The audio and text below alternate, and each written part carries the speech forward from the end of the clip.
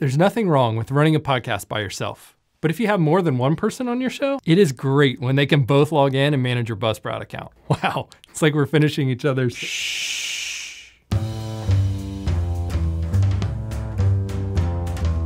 When you're running a podcast, it is not uncommon to have multiple people involved. Maybe you have a co host or an editor, or maybe you're part of an organization with multiple people that need access to upload episodes, check on stats, or write show notes. Whatever size team you have, Buzzsprout has you covered. You can add as many people to your Buzzsprout account as you want. We'll never charge you any extra. To get started, you just click into the team member section and click on the add a team member button. Enter their name and email address, and then Buzzsprout has two different levels of access that you can choose between. Admins can do everything, and editors can't do anything destructive. Once you're done, the new team member will get an email welcoming them to your Buzzsprout account. You've got mail. Buzzsprout makes it easy to run a professional multi-person podcast. So go ahead, add your whole team, and delegate like the boss that you are.